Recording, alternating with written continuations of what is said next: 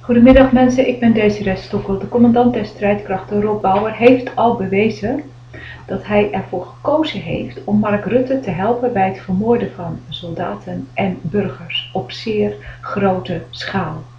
Bauer heeft een wettelijke verplichting die hij weigert uit te voeren. Hij weigert de grondwet, het VN-verdrag, Volterverdrag en de mensenrechtenverdragen toe te passen om aan het Nederlandse volk uit te leggen dat uh, Mark Rutte echt actief mensen laat vermoorden. En ik bewijs dat. Ik bewijs dat met de rechtszaak uh, tegen Nederland bij het internationaal strafhof. Ik bewijs dat koning Willem-Alexander weigert de rechtsstaat Nederland toegankelijk te houden voor alle burgers. En dat is een oorlogsmisdaad.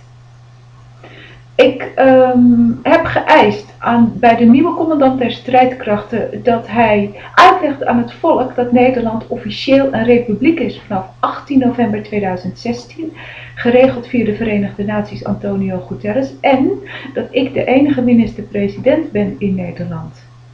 Hij weigert dat uit te leggen, maar hij dwingt, nee, hij misbruikt het internet voor zijn moordenaarspelletjes. Kijk, hij weet dat alle waarheid die ik hier uitleg op het internet juridisch bewijsbaar is. Dat is geen flauwekul. Ondanks de aanwezigheid van dat bewijs op het internet heeft hij niet het fatsoen om keuzes te maken die het leven van soldaten beschermen.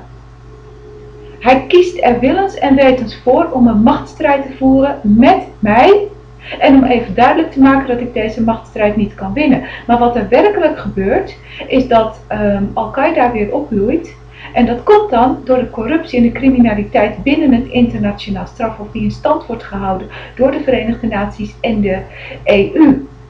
Eh, Antonio Guterres krijgt betaald voor het hm, half dictatuur en half republiek houden van uh, Nederland.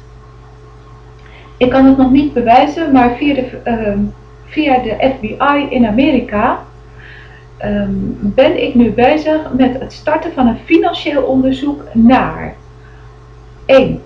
Al het internationaal strafhofpersoneel. 2. De Verenigde Naties secretaris-generaal Antonio Guterres. 3. Alle EU-politici. Die macht heb ik. Kijk, volgens de letter van de wet heb ik zelfs de macht op het Witte Huis. Ik heb ik ben een internationaal strafhofrechtszaak gestart tegen alle presidenten, tegen alle ministers van Buitenlandse Zaken. In het verleden was ik al een ICC-rechtszaak gestart tegen Obama en Clinton en nu ook tegen Donald Trump, omdat hij willens en wetens dictatuur Nederland overeind had. Dat is verboden. Doordat ik deze rechtszaken start, weten mensen in oorlogsgebied dat ik niet corrupt ben. Niet binnen het Nederlands parlement, niet binnen de Nederlandse lobby en ook niet binnen het internationaal strafhof of de VN. Dat betekent dat ik wel mijn geloofwaardigheid houd. En daar wordt ook naar gehandeld. Je zal zien dat de investeringen binnen Republiek Nederland, of binnen, sorry, binnen Rutte 3, het genocideparlement, zullen teruglopen. En dat komt door mij. Je zal zien dat Nederlandse bedrijven het zwaarder krijgen in het buitenland. En dat komt door mij.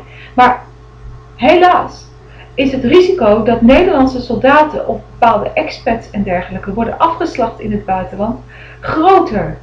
Doordat de vorm van corruptie die ik uitleg en bewijs op mijn website in stand wordt gehouden door de defensietop en door de politietop en door al die organisaties, de, de, de rechters en de advocaten en de professoren.